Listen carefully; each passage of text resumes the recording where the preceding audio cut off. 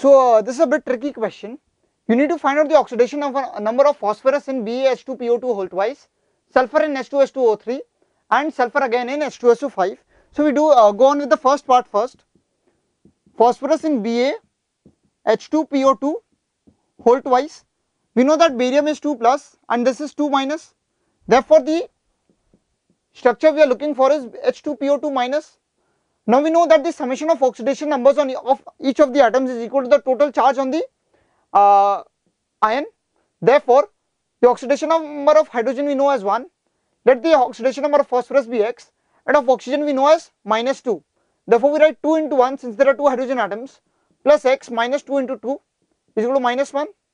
Therefore, we get x is equal to 1. Therefore, the oxidation number of phosphorus in the first ion comes out to be equal to 1. Now, let us take the second case of H2S2O3. Going similarly over here, this is plus 1, this is minus 2, this is x. Therefore, 2 plus 2x minus 6 is equal to 0. Therefore, x is equal to 2. But this answer is wrong because we have assumed the oxidation number of different atoms to be uh, equal to minus, uh, 2 and plus 1 and x that is we have assumed the oxidation number of both the sulfur atoms to be x which is actually not true when we see the figure. So you must always be careful and always know as to how to find out the oxidation number from the structure of the molecule. Therefore, when you draw the structure of the molecule of H2S2O3 it is something like this. Here we have a oxygen and like this. Therefore, this we get as the structure of H2S2O3. This is hydrogen here and hydrogen here. Now, from this structure you should always see the difference in the electronegativities of the electronegativities of the two atoms. Now, oxygen being more electronegative to, uh, than hydrogen snatches this electron of the hydrogen towards its own side. Now, out of these two electrons, again oxygen is more electronegative than sulfur, therefore it snatches these two electrons also. Therefore, the oxidation number of oxygen becomes minus 2 since it has snatched 2 electrons extra. This becomes plus 1. Now, the electronegativity difference between these two sulfur is 0. Therefore, nothing happens to these two electrons. Now, again these two electrons are snatched by the oxygen. Again this electron of sulfur is snatched by this oxygen.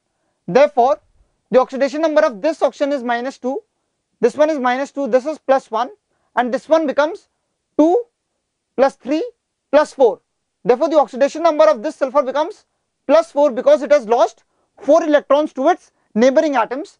Therefore, we see but still we see that the total sum of all the oxidation numbers still comes out to be equal to 0 that is 4 plus 5 plus 1 6 and minus 6 that is 0.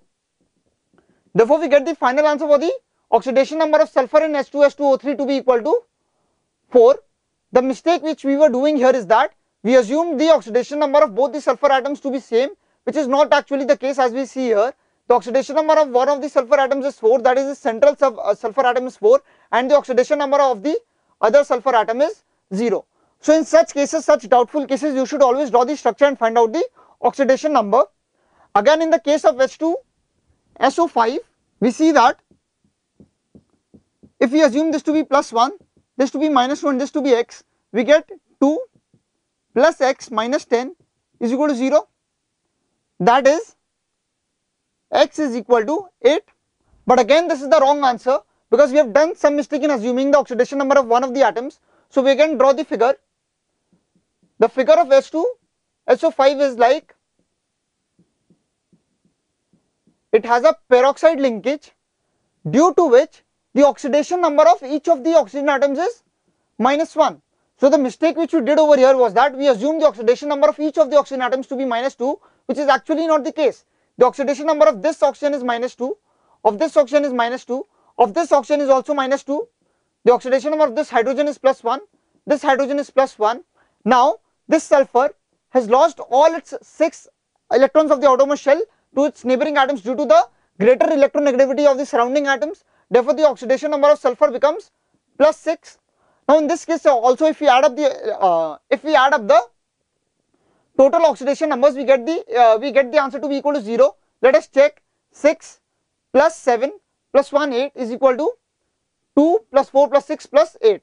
Therefore, still 8 minus 8 is equal to 0. The total sum of the oxidation numbers is equal to the total charge on the molecule that is equal to 0. Now, from this we get the oxidation number of the central sulfur atom to be equal to plus 6. So, the answer in this case is plus 6. So, in the three parts we get the answer of oxidation number of phosphorus to be 1, oxidation number of sulfur to be 4 and oxidation number of sulfur to be again 6.